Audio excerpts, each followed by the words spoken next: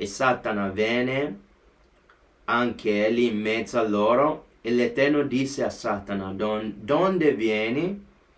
E Satana rispose all'Eterno, da percorrere la terra e da passeggiare per essa. E egli disse a Satana, hai tu notato il mio servo Giacobbe? Cioè, qua se andate a leggere di più, vi fa capire che è tutto sotto il comando del Padre Yahweh. Cioè, lui comanda sia il bene, il male, gli angeli cattivi e gli angeli buoni. È tutto sotto il suo comando. E ha creato tutto questo per la sua gloria. Questo regno, come tutti i regni eh, Stavi parlando dei crociati.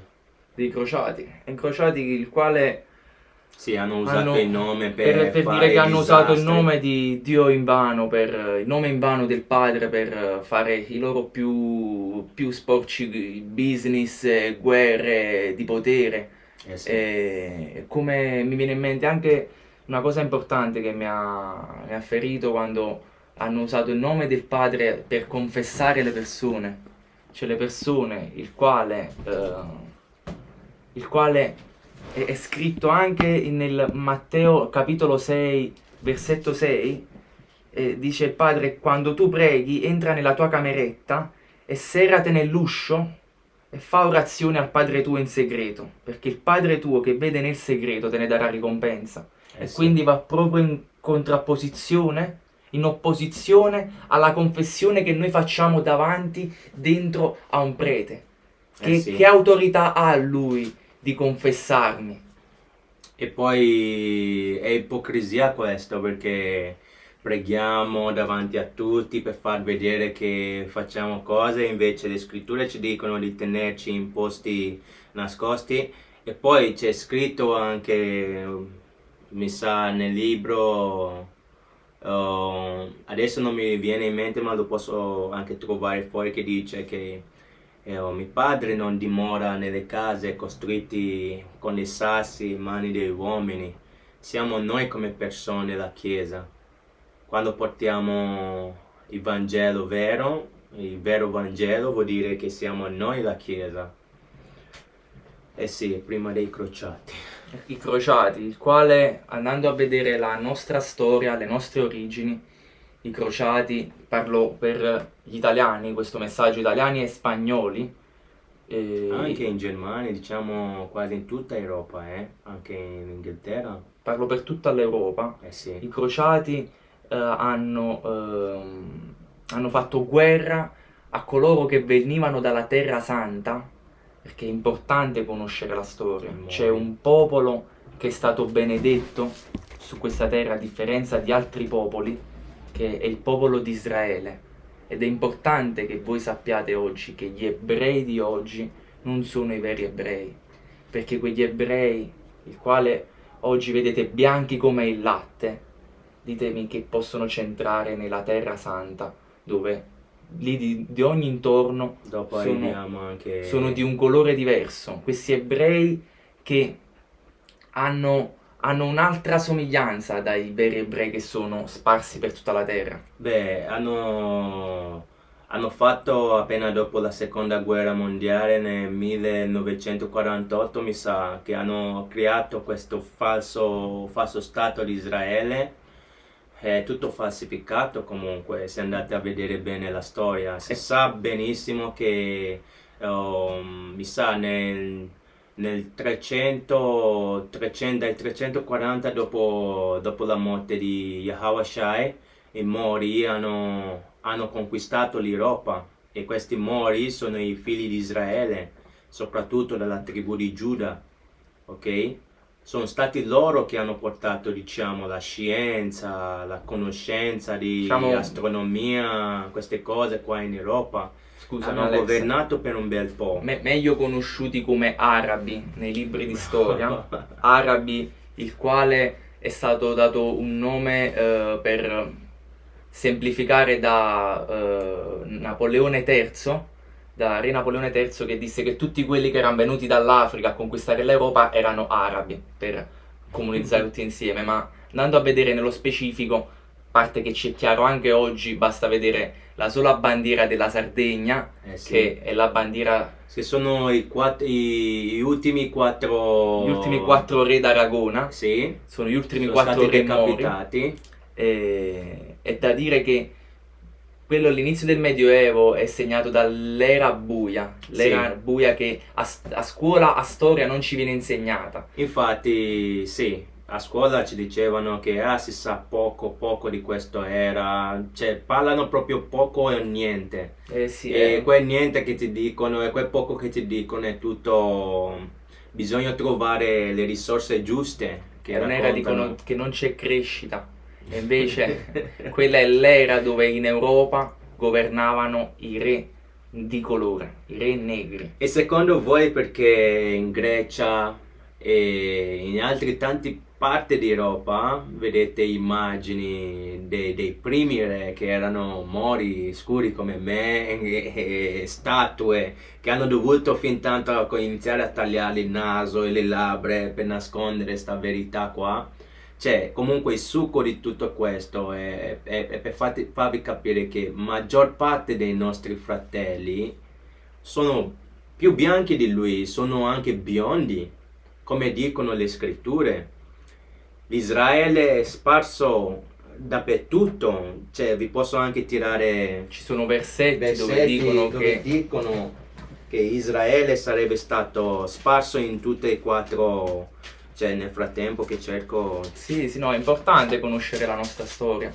La storia che i, i primi uomini su questa terra erano di colore, che ci siamo e mescolandoci poi con... C'è anche il versetto dove dice che i figli di Dio piacevano le donne e si mescolarono con i figli degli uomini e da lì poi il suo spirito non avrebbe più potuto contendere con, con, eh, con l'essere umano.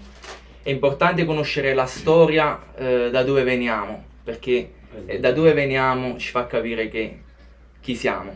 27. L'et- il capitolo Questo è 4, Deuteron- Deuteron- versetto 27 del Deutro- Deuteronomio. E l'Eterno vi disperderà fra i popoli, e non resterà e non sarete interamente distrutti. E qui vi sarete e, e lì e qui vi sarete fatti dei dei fatti da mano d'uomo, dei di legno e di pietra. le croce che si trovano nelle chiese fatte di legno e la pietra che adorano i musulmani nella Kaaba, in Mecca, che nell'antichità si chiamava Kaaba.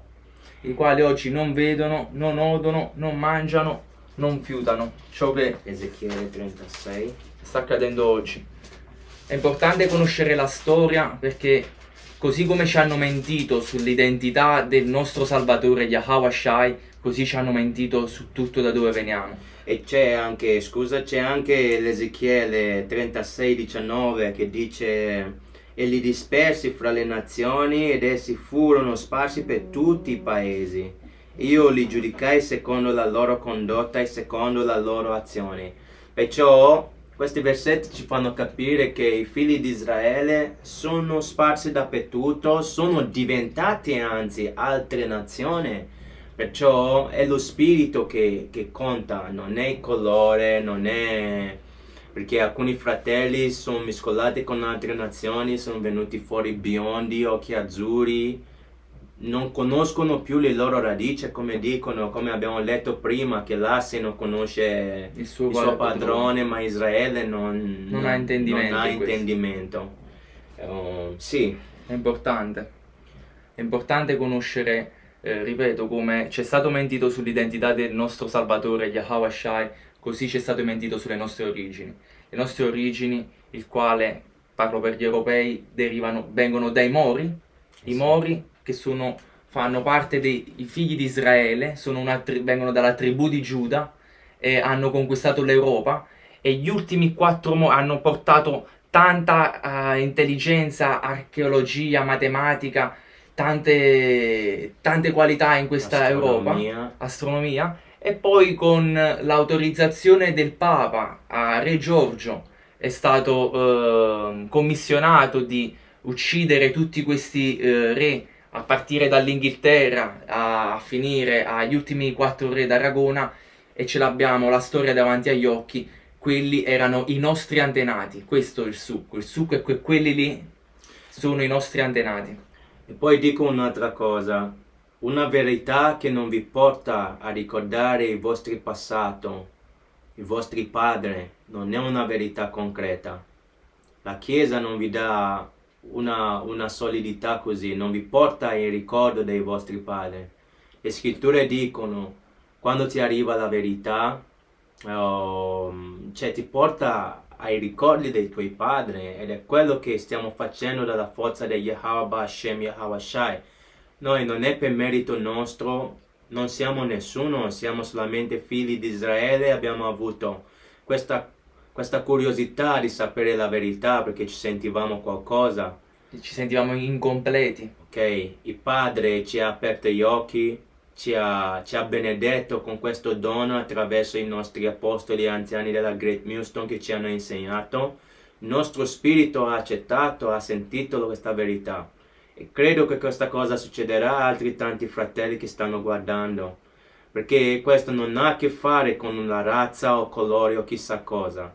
Ha a che fare con lo spirito. Questo è un mio fratello qua che sicuramente è un discendente dei, dei Mori. Lui non è stato forzato a accettare questa verità. Lui ha sentito e lui sapeva che apparteneva a lui. Io... Perciò non stiamo forzando nessuno con questa verità. Intanto... Sì, chiunque riceverà questo messaggio come una cosa che dentro di sé già sentiva, significa che ha lo spirito di Yahweh Bashem, Yahweh Shai dentro di sé. Chiunque accetta questa, questo messaggio, chiunque riceverà questo messaggio con gioia, ha lo spirito dentro di sé. E poi il libro di Giovanni 10, 27. No, eh? Sì, Giovanni 10, 27. Dice, le mie pecore ascoltano la mia voce e io le conosco ed essi mi seguono. Chiunque, chiunque riceve questo messaggio del nostro Salvatore Yahweh Shai, che è di colore, sicuramente è una pecora di Yahweh Shai che questo all'inizio si prenderà con tanta gioia e con tanta euforia, ma dopo sentirai il dovere di comportarti secondo i comandamenti del Padre, perché è quella il vero, come dice il, la, la conclusione di, del versetto sì, di, il versetto Ecclesiastes, Ecclesiastes capitolo 12 versetto 15 la conclusione di tutto è temere il Padre e osservare i suoi comandamenti, comandamenti. comandamenti, perché una volta che sappiamo la verità sul Padre, ci viene naturale rispettare sì. i suoi comandamenti. Eh sì. Che è la cosa più difficile da fare ad oggi in questo mondo. E mi viene in mente quando ero bambino una frase che diceva la strada del male è larga e facile e quella del bene è stretta e difficile perché eh, non è facile. non è facile sì. oggi, ai tempi di oggi, comportarsi secondo la volontà del Padre. Sì, e, cioè, se le scritture dicono che la strada che porta alla vita eterna è stretta e quella che porta alla perdizione sì, è larga, vuoi dirmi che tutti questi cristiani, perché la religione del cristianesimo è la più grande in assoluta, vuoi dirmi che tutti questi cristiani, tutti questi musulmani, buddisti, dai ragazzi, pregate, pregate per conoscenza davvero, perché se volete la conoscenza bisogna temere il Padre e osservare i suoi comandamenti. È la cosa più importante per noi. E ora vediamo anche una prova che gli ebrei che sono oggi in Gerusalemme non sono i veri ebrei, che è tutto scritto nelle scritture qua. E Leggiamo da Apocalisse, capitolo 2,9. Vuoi leggere tu? Prima. No, è importante capire questa particolarità di come Israele sia uno dei primi popoli su questa terra e solo 70 anni fa gli hanno dovuto dare una nazione. Eh sì. Questo fa capire che cioè, non puoi andare contro le parole del padre. Il padre ci ha dispersi per il mondo e non ci ha dato una nazione per farlo. Io conosco la tua tribolazione e la tua povertà, ma pur sei ricco, e le calunnie lanciate da quelli che dicono di essere ebrei e non lo sono, ma sono una sinagoga di Satana. Quelli che dicono di essere ebrei sono una sinagoga di Satana. Giudei. Eh sì, anche possiamo vedere le cose che fanno, tutto contro la volontà del padre. L'altro giorno ho visto il video che quando si nasce un bambino là, ci sono i rabbi che vanno là, fanno le circoscrizioni e succhiano fuori il sangue dal pene del bambino con la bocca. Immaginate. Cioè, sono cose oscene che non esistono nelle scritture e loro, loro, non credono nemmeno che il Messia è tornato, non credono che Yahweh è tornato, per loro deve ancora, deve ancora nascere, cioè hanno tutto contrario a questo libro qua. E io vi dico, cari fratelli e sorelle che state ascoltando, cioè qualsiasi religione, qualsiasi, qualsiasi cosa che vi dice cose che non sono scritte qua, che non, che non vanno in accordo con queste parole, potete buttarle via. Non vi fanno bene, potete buttarle via. E poi la Chiesa, la Chiesa non ci racconta nemmeno queste cose che stiamo cercando di raccontarvi, perché se voi guardate bene c'è una licenza per ogni, ogni Chiesa se, se, se, noi dovessimo aprire una chiesa, c'è una licenza che dobbiamo chiedere che viene dal Vaticano, si chiama i 501 tra parentesi C3. Potete guardarlo su, su Google. Allora, questa licenza come si dice, previene la Chiesa a predicare? Sì, obbliga la Chiesa a predicare la verità del Padre nel, uh, nel modo, diciamo, mitologico, sì, religioso. religioso, non, non come, come storia. Veramente storia, perché i fatti che ci sono nelle scritture, nelle sacre scritture, sono fatti storici realmente accaduti, sono fatti storici che andrebbero insegnati a scuola, ma quella anche la scuola è un è, è un'istituzione fatta per, con, per confonderci. Oggi esistono tante cose per confonderci e per distrarci. Ma io, devo, io dico Barakatah Yahweh, Barakatah Yahweh Shai, perché la verità trionfa. Eh sì, eh sì. E sapete la bellezza è che una volta venite in contatto con la verità non fa altro che liberarvi. Non fa altro davvero che liberarvi. Io vedo tanti fratelli, siete in schiavitù ancora, siete, siete chiusi là, andando dietro delle carriere, delle cose, cioè, tanti vogliono, cioè, vivono per la macchina, alcuni vivono per una casa, alcuni vivono... Ma ricordatevi che questo regno, come un israelita, non è il nostro regno. Cioè, io vi chiedo una domanda, vi sembra normale essere nato su questo pianeta e pagare per vivere su questo pianeta? E coloro che decidono quanto dovete pagare per vivere, chi, chi, chi, chi gli, ha, gli, ha, detto che devono fare questo? Voglio, cioè... Io voglio intervenire riguardo a, a, una, a, una, a una frase molto importante, che per fede, è per fede che noi rifiutiamo di essere chiamati figli, figli d'uomini, ma vogliamo essere chiamati figli del Padre Yahweh, Bashem Yahweh Shai. Bellissimo. Perché noi eh, cediamo, smettiamo di godere per breve tempo dei piaceri di questa vita e, di, de, e del peccato. E chi sono i figli del Padre Yahweh, Bashem Yahweh Shai? Vediamo su Salmi Salmi 148, 14, poi dopo torni a spiegare. Mm -hmm. Salmi 148, 14. Egli ha ridato la sua forza al popolo, dando motivo di lode a tutti i suoi fedeli, ai figlioli di Israele, al popolo che gli sta vicino. Questo è il popolo che Padre si è scelto.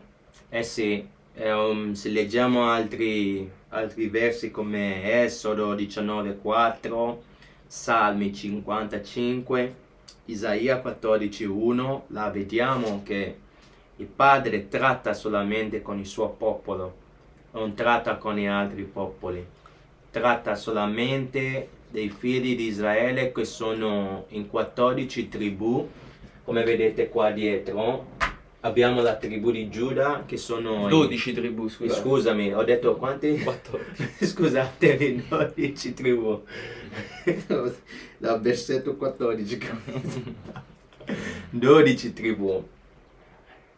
Poi lascerò un link sul, sul video così potete vedere un sacco di nostri fratelli qua in, in Italia, anche non importa dove sei, anche i veneziani, sappiamo che c'erano i mori prima qua a Venezia anche, Um, ecco perché avete i mori di Venezia, Otello, chissà, erano loro che governavano prima, sono dei figli di Giuda, ok? Tanti fratelli in Sardegna, Sicilia, Lombardia, dappertutto c'erano i mori, ok? Anche in Spagna, in Germania, in Austria.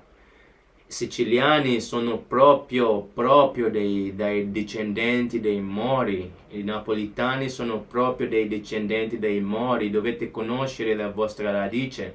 Ecco perché coloro che vivono nel, vivono nel sud cercano, temono, ce- cercano di tenerli eh, sempre in basso e questa cosa è una, è un, è un- come si dice, Fi- filosofia o Mhm.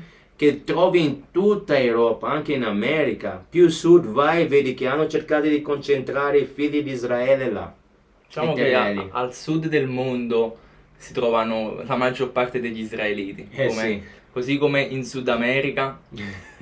E, e- notatela anche la somiglianza tra i latini, i, la latri- i- i- i spagnoli e il Sud Italia, che sono molto simili, sono persone molto di cuore e hanno uno spirito davvero forte e amano e lodano il Padre eterno. La quale voglio eh, portare un, un versetto del Deuteronomio 7, capitolo 7, versetto 6, perché voglio farvi capire l'importanza di essere israelita, di essere un vero ebreo israelita. Questo è forte.